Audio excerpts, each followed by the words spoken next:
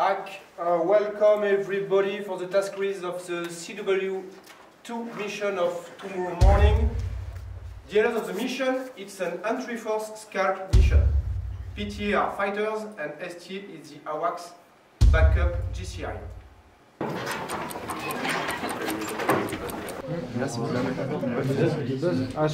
Euh, pour l'instant, on va